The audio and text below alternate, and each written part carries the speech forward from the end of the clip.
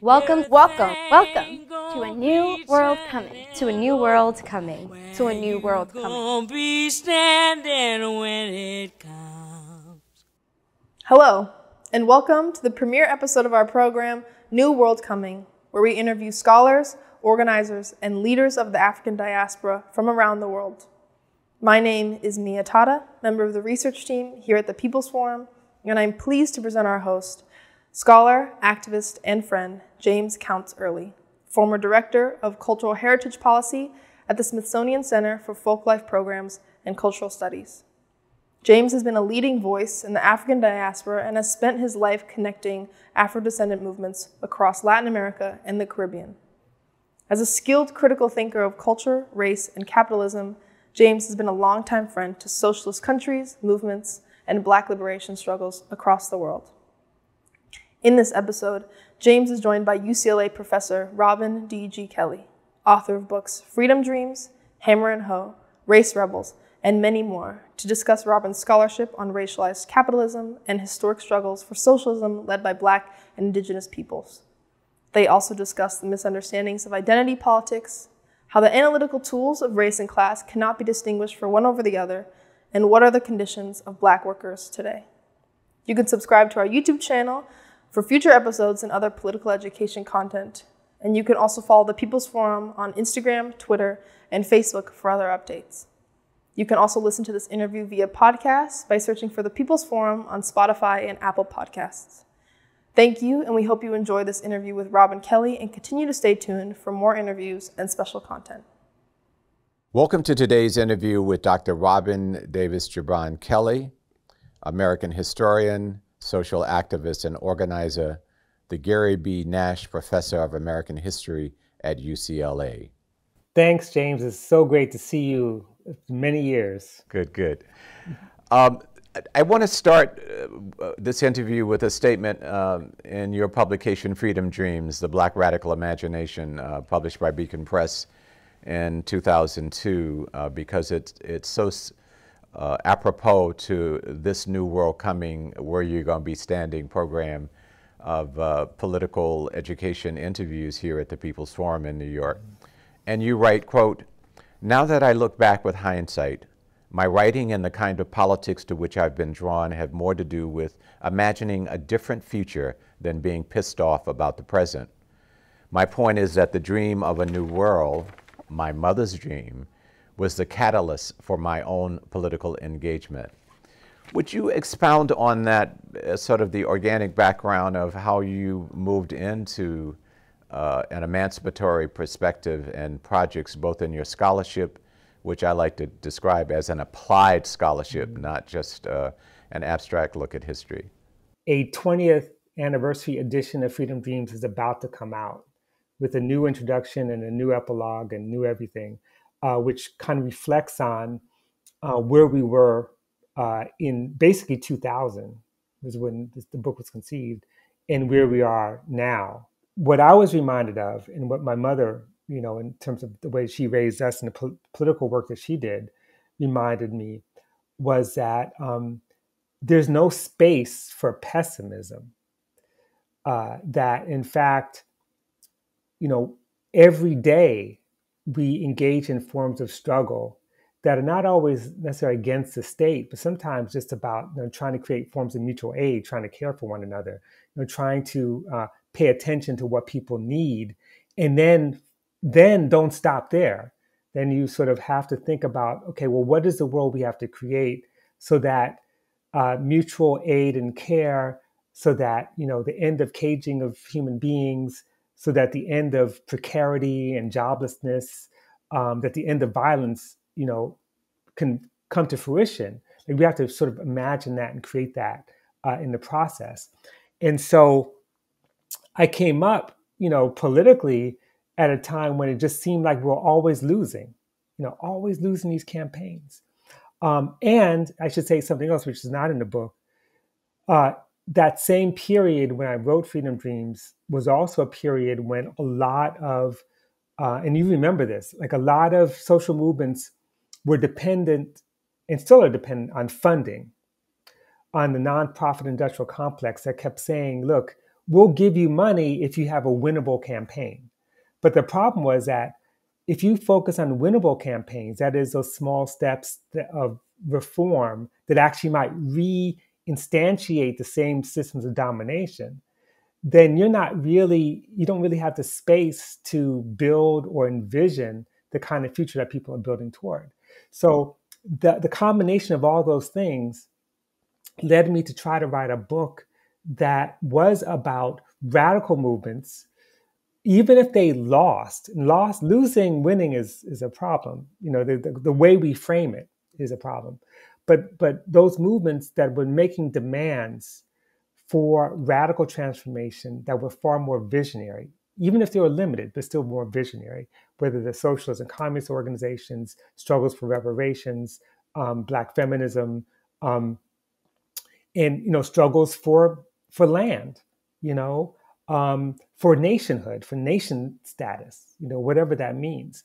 So so all that in some ways you know was a product of the politics i kind of grew up with but also was a product of product of the moment um, of of movements saying you know what we're not going to take we're not going to let funders determine for us uh, what our politics should be and we're going to try to do the work of fighting for the kinds of reforms that will lead us to the future that we imagine. This generation, um, 2021, uh, polls over the last 24 to 36 months have suggested that as much as 40% of the millennial generation identifies with the term socialism. And thinking about the autobiographical dimensions of your systemic writings about neoliberal capitalism and racialized capitalism. Talk a little about your own identification. Uh, is it as a revolutionary nationalist who's a Marxist, a socialist? Uh, I, I, raise this because the debate about identity politics uh, mm-hmm. also rages uh, as that if you're into identity politics uh, and you're not really talking directly about Marxism or Leninism and socialism, you're really not talking about the uplift of the working class. How do you navigate that debate? What would be your suggestion to this generation of activists about right. The, the analytics that might be useful for them to engage the emancipatory and transformative projects that they are dealing with? Right.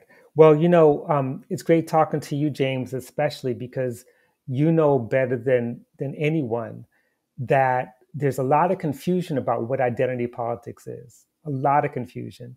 Um, there's also a lot of confusion about what our struggles have been. And you know, given your own history, you know that there was no contradiction between fighting against racism, fighting for black power, and fighting for socialism, and fighting for it's kind of an emancipatory socialism for everyone, for the globe, that, that there was no contradiction. No one ever thought to say, well, which one are you? You know, that wasn't really the issue. Even, I mean, th- there were splits within Black nationalist organizations at the time about whether or not to embrace Marxism or not. Um, and certainly there were nationalists who were not uh, Marxists or pro socialists.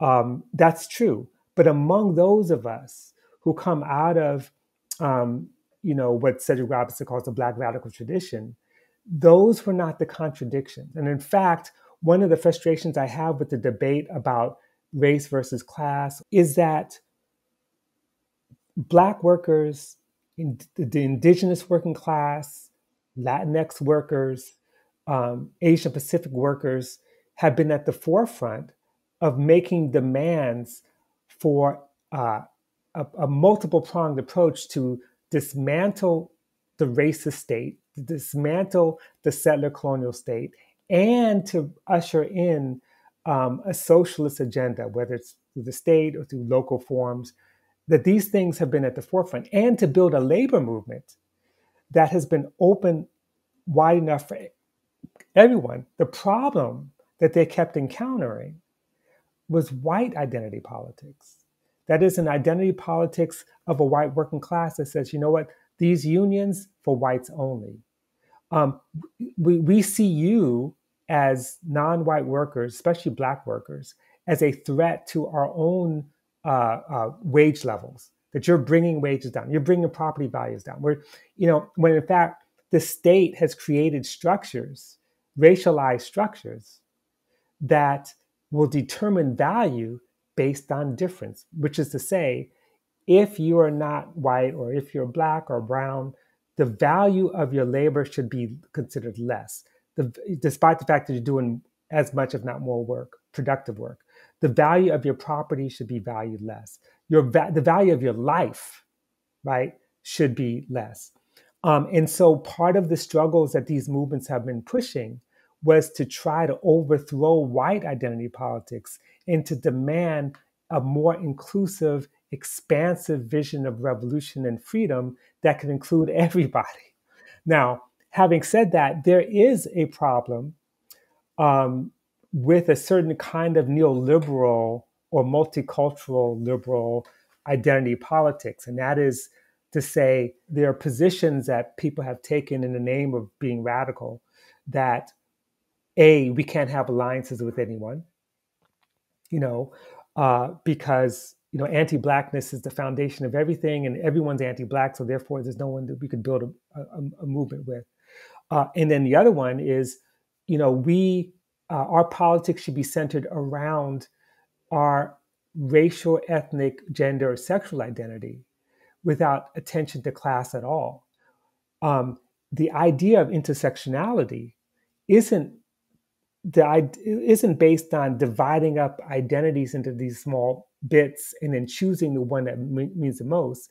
Intersectionality was intended to mean a recognition of how they work together, including class, including class. So to really be deeply, radically intersectional is to recognize that black and brown working people have been affected, for example, by COVID, by the failure of healthcare, by precarious wages in ways that sometimes even the white working class hasn't um, uh, in the same way. And so we have to attend to trying to, again, transform or eliminate these racial structures, racialized structures, uh, as well as ending capitalism. Because ultimately, um, capitalism has always been, from its inception, rooted in um, racialized difference, national difference, ethnic difference, and creating hierarchies around difference and gender difference. The African Blood Brothers, communist, mm-hmm. but that was an identity politic for the uplift of all of humanity. I would suggest that the whole issue of multiculturalism as a historically evolved phenomenon was a democratic struggle against monoculturalism. The problem right. the problem comes up when it sees as that as the end product of struggle, uh, rather than the uplift of humanity from different historically evolved uh, ethnic our, or, identity our gender identities and, and the like. And I, I, I, wonder how you, you, you look at that historical reference going back to what right. the 30s, uh, Harry Haywood bringing the Negro national question, but then saw himself as an African blood brother.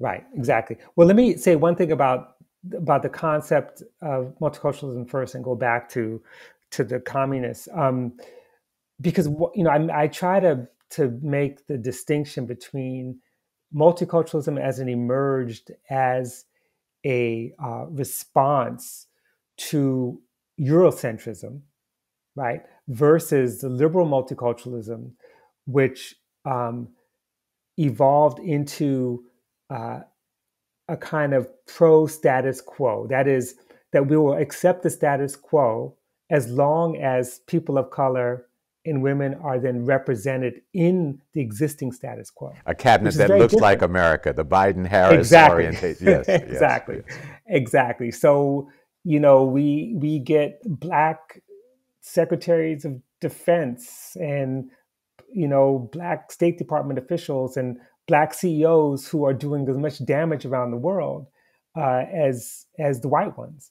And so that to me is is is a, a travesty compared to what multiculturalism was meant to be. But what is, is actually done was take away the kind of radical politics and class dimension uh, which you're, about which you're, you're speaking. Um, and that has been eliminated in favor of a politics of recognition. And that politics of recognition is is one based on like, look, if we only had more black cops, then you know it wouldn't be so bad. If we only had a, like a black mayor, if only had like a, a Latinx, you know, governor, uh, you know, we, immigration will be solved. But it doesn't really work that way. The African Blood Brotherhood, you're right. That was a form of identity politics as well. But it also means that when we think of identity, we cannot reduce it to skin color, ethnicity, body type, desire, but actually think about it in terms of identification. That is, what are your what are the politics you identify with? So when people ask me, so what are you? Are you, you know, um, they say, well, you are like, you know, your your accent, like where are you from? What what what are you? Like how do you define yourself? I said, I'm a communist. And they're like, what? no, I'm saying, like, no, what are you? Like, where are you from? No, I'm a communist. And then they don't know what to do with that because I said, if I'm going to define myself, I could define myself that way. I don't have to, yes, you could see that I'm a black person. You could see, you know, you, you may think I'm Arab or Puerto Rican or whatever, but I'm saying that this is the identification I choose. So to join the African Blood Brotherhood in 1919 basically meant that uh, you believed as Cyril Briggs, as W.A. Domingo, as some of the other leaders of, of and, and Harry Haywood, who was a member, uh, as they believed, they believed like three or four really important things. One, that Black people in the United States are oppressed, and they're oppressed as a class and they're oppressed as a race. Two, that the only way that they could defend themselves is to defend themselves um, through armed struggle, uh, through armed forms self defense, to fight the Klan, to fight lynching, um, and to develop a, a, really disciplined organization to do that. Okay. okay. And three, that capitalism was not sustainable, not just only for their own lives, but the lives of all Americans and the rest of the world. And to say that is to say that capitalism is tied to the kind of colonial order that has made it possible for all these black people to end up in North America in the first place. Right, right. um, and so that's what they recognize. And so they saw themselves as a black liberation movement whose movement was expansive enough to bring liberation for all. And that's why um, at the time uh, where the Communist Party had made a shift, even before 1928, and where Claude McKay, you know, the great writer, um, activist, shows up in Moscow and gives a speech to the Communist International and says, look, you know, you got to pay attention to Garveyism. You got to pay attention to the Black Liberation Movement. You got to, because because we are in some ways the wedge um, at the forefront of the class struggle. And, and and that meant that the Communist Party suddenly said, you know what, we need to pay attention to Black people, not just as other workers, it's not that the socialists ignored black people. They just simply said, you know, you're just workers like everyone else. And what we need to do is stop talking the race talk and start talking the class talk. What they're saying is that we need to talk the race talk and the class talk. We need to talk about them together and recognize them um, as intertwined, but also see that they're distinct forms of oppression, distinct forms of exclusion, distinct forms of violence that are directed at Black and brown people that are not necessarily directed at the rest of the working class. And so, therefore, we've got to uh, support the right of that community for self determination. And self determination means many things. It means determining what forms of struggle they're going to take, it means determining what kinds of community based in national organizations they're going to form. And it also means, in this particular context, the right to create their own nation.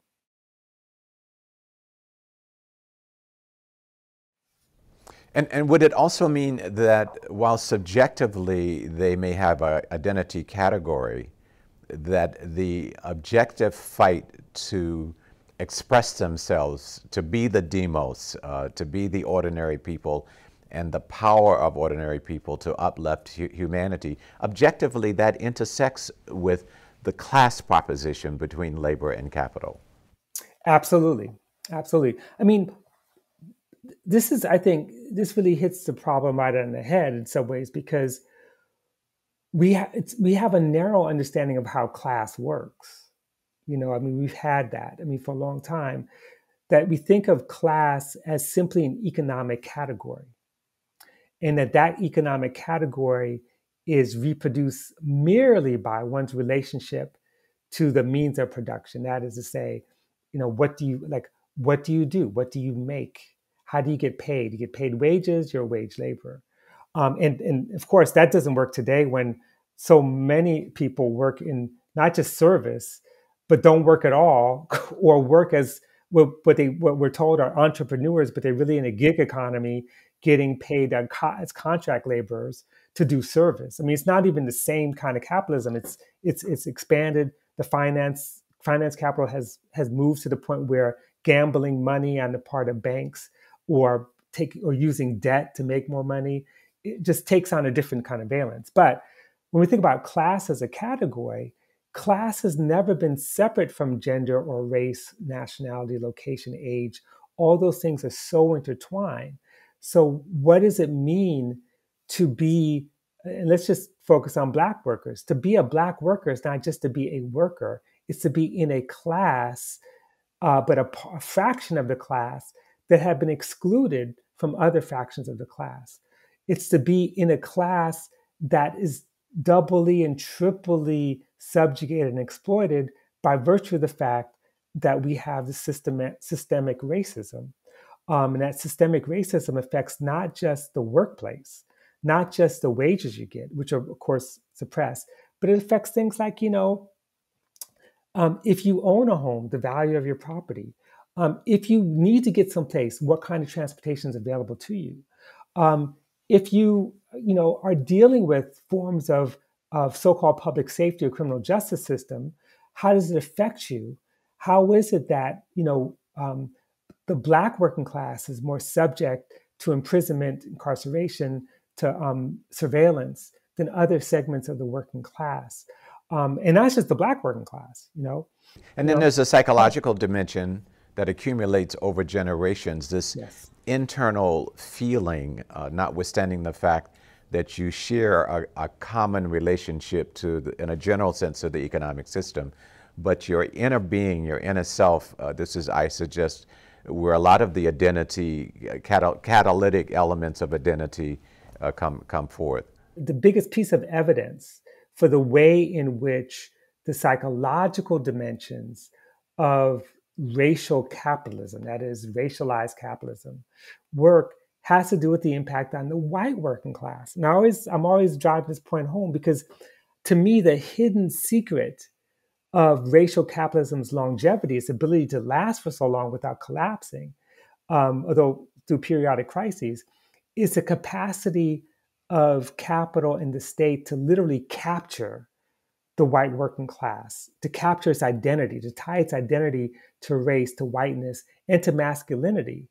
And this is what Du Bois called the wages of whiteness. You know, right. when he talked about the invention of personal whiteness, the idea that somehow you you deserve more by being white. And you actually sometimes get more. Usually, you don't get more. that's that's the thing. I mean, right, the white working class actually doesn't really get more. And we saw what happened in this past year with COVID uh, with you know where I don't care how white you were, poor white people who had lost their jobs, they weren't getting those. You know, they didn't get two thousand dollar relief checks. You know, they weren't getting vaccines right away. The terminology "black radical" tradition is it fair to say that in the construct of radicalness, there are multiple ideological confrontational identities that emerge one of which would be Marxist or socialist or communist. Uh, but radical suggests a plurality uh, right. that is confronting the systemic nature of the society, as opposed to those who would argue, well, it's radical, but it's not Marxist, it's not socialist. It's, I don't know if you run into that argument. It's interesting that you pose this question now because um, over the last uh, 21 years, 20 years really, since I published Freedom Dreams, um, I really had to to think harder, more critically about Marxism and its limitations. Um, and let me just give some background on this. So, uh, my my main teacher as a graduate student was Cedric Robinson, who wrote Black Marxism and, and coined the phrase the Black radical tradition. Uh, and you know, and so much of my work has been sort of shaped by his thinking. Uh, I wrote the introduction, wrote a new foreword to the 20th, to the next, second edition of Black Marxism in 2000, and was really come to terms with his critique of Marxism, which I agreed with, but for the most part, I didn't abandon Marxism. What Marxism is is itself a plurality. Actually, you know, it's it's not a it's not a dead idea that sort of emerged in the 19th century and it got stuck it's always living and breathing.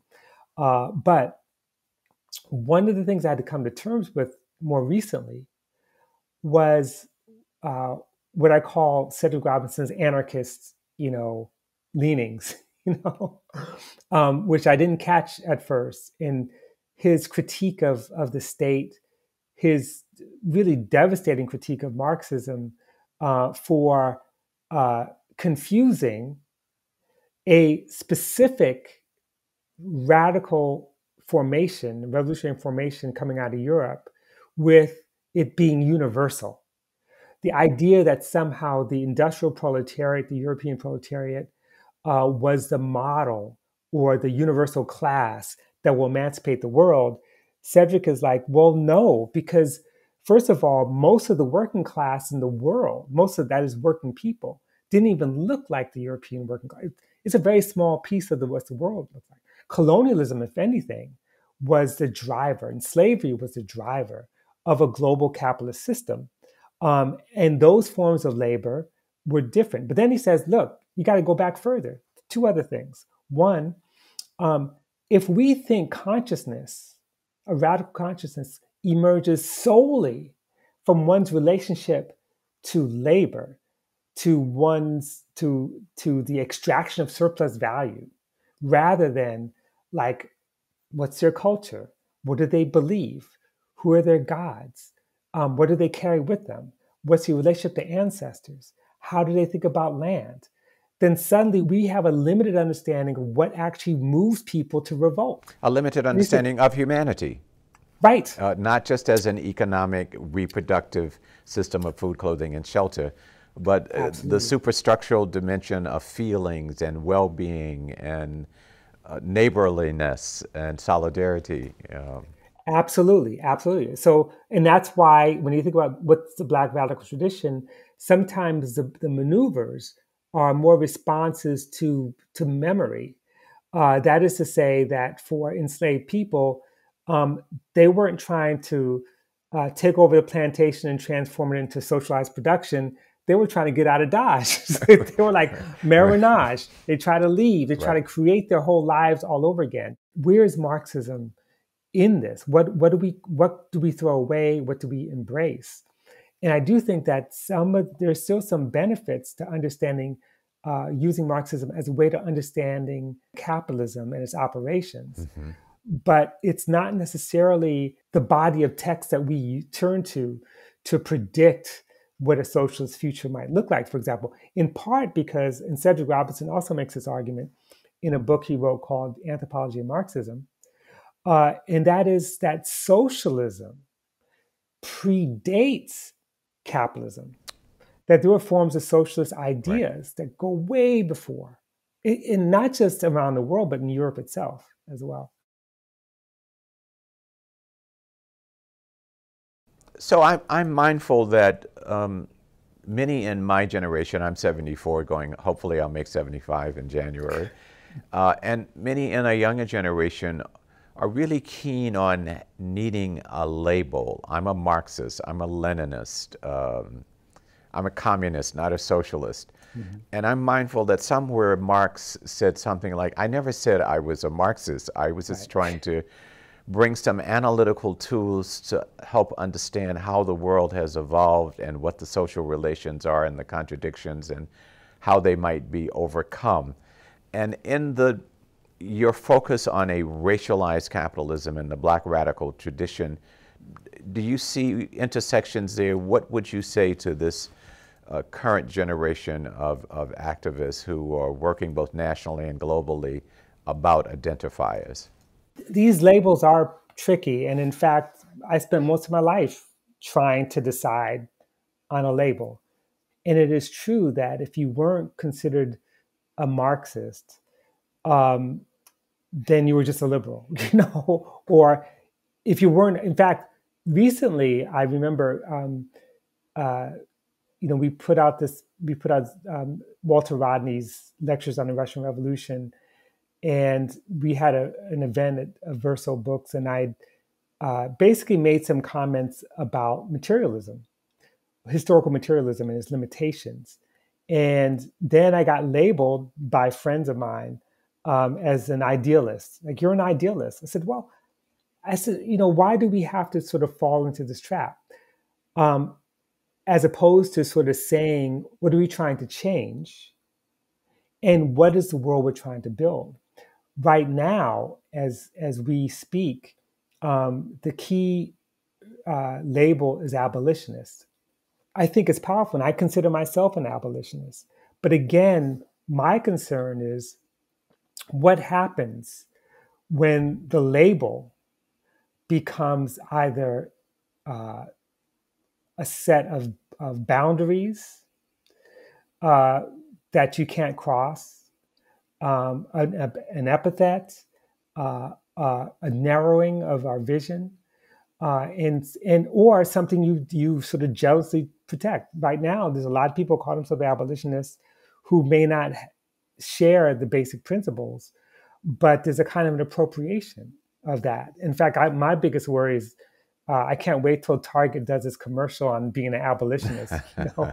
um, what is abolition? You know, abolition ultimately, if we really, really mean, if we really, really want to embrace the principle, it is the abolition of all forms of oppression, subjugation, and exclusion. It's about figuring out ways to, to be together by eliminating all the things that oppress us, including caging human beings, um, surveilling us, beating us down, creating a space for public safety, uh, and also other kinds of oppressions, oppressions of that limit the body, uh, that limit our imagination of what gender is or sexuality is. Um, that these are all the things that need to be abolished. Which but is a new world coming in its plurality.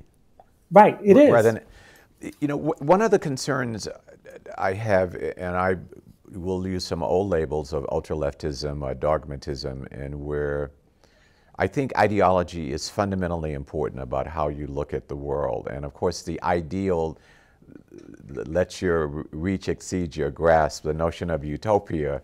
I mean, those are ideal forms of a better world than this cruel world that we live in. But when people get overly focused on that, they really have a difficult time dealing with the messiness of this power struggle of governance and how uh, we're going to arrange ourselves and who's going to get what because it's messy, it's complicated. And mm-hmm. so when I am trying to look at different emancipatory struggles based on objectively what are they trying to change and less concerned about what label they may be. But once we get stuck on the, you're not really a Marxist, you're not really a socialist, or the Black Caucus is just a group of handkerchief head. Uh, now I'm, I'm ready to deal with the contradictions there, but in the real uh, actual correlation of the power struggle, one has to make temporal assessments, not yeah. sort of abstract, infinite categorical labels. And I, I want to uh, close out on, on two things. Um, one, this whole notion of the white nation. I, Bob Wing, uh, an old comrade of mine, has recently uh, put out a piece that has gotten a lot of response. And I'm just wondering how that's going to play uh, with those people who have a kind of um, what I would call a mechanical class point of view is that you're discounting the, the white working class. And lastly, I'd like for you to inform us of what your new uh, book is about and what it may mean for this generation of, of young uh, social change and uh, transformative activists. Well, to go back to Bob Wing's uh, uh, article, which a lot of people responded to, and by the way, I've, I've, known Bob many years and have nothing but respect for him. And I think the piece is very, very important. Um, and to me, I, I read it. I read the potential political outcome differently. I think he's correct that we live in this is you know the question is this is going to be a white nation in many ways that's what it's been that is this the essence of settler colonialism um, and and the power of settler colonialism and the power of it today as it was in the 18th century was its ability to capture the white working class that doesn't necessarily mean there's no such thing as the white working class what it means is that now it will politically force um, a segment of or a block within white the white working class to choose yes. what side are you on. Yes. Um, and to me, that's the challenge. And this is a this is not even a new challenge. I mean, uh, my my friend and the late uh, Noel Ignatiev uh, put out this journal called Race Traitor back in in the '90s, and I was on the editorial board of it. And his whole argument was like, if we really going to build a revolutionary movement, white people need to disavow whiteness. They need they need to make a political break. It's not it's not self hatred he's talking about. He's saying right. make a political break from the white nation. Even the beginnings of settler colonialism in the 17th century, why did they um, ultimately abolish indentured servitude? Why did they offer poor white um, often I, I, call them immigrants, but many of them were immigrants against their will, you know, who, who mm-hmm. committed crimes in Europe and got right. put on a ship instead right. of going to the hanging tree. They ended up coming to North America. Why would they give them, you know, 40 acres and a musket? Because they realized that they could that they were running away, joining with indigenous nations. They were running away, hanging out with Africans living in swamps. They were like, this is way better than getting beat by a whip and picking tobacco, you know, than being what you are. And so they were going native, as they say. The only way to stop that to, to in its tracks is to make them white and to say, look, you too will one day become a plantation owner like me. Just just just hold on. Here, here's some land, here's some guns, fight for us. And so the question is, when will they break from that? That is the question. So I'm writing this book that's tentatively titled Black Body Swinging, um, an American Postmortem. And by swinging, I, am sort of using, of course, the line comes from uh, Abe Meeropol's uh, poem, which became the song Strange Fruit, right. which, of course, Billie Holiday is famous for. But swinging has a double meaning. It's both swinging in terms of our, our, our, our death, but also swinging in terms of the fight back. And it's really a history of that the long fight back. What happened uh, in the spring of 2020 wasn't spontaneous. Yes, it was 26 million people, but it was it took three decades of organizing that made it possible.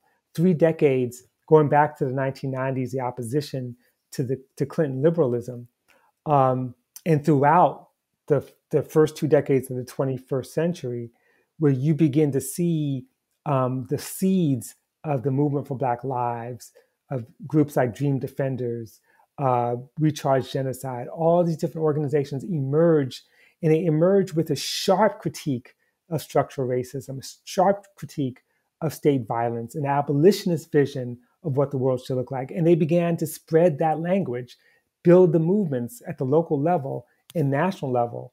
Um, and so that's part of the story. But the other part of the book, a big part of it, is trying to understand the conditions that racial capitalism produced that led to so many um, premature deaths.